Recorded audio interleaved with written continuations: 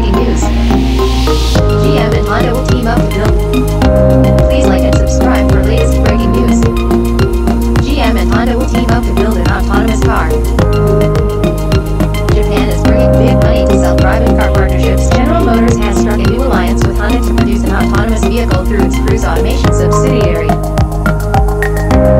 The deal includes a 750 million investment in Cruise by Honda, which alongside a recent cash inflow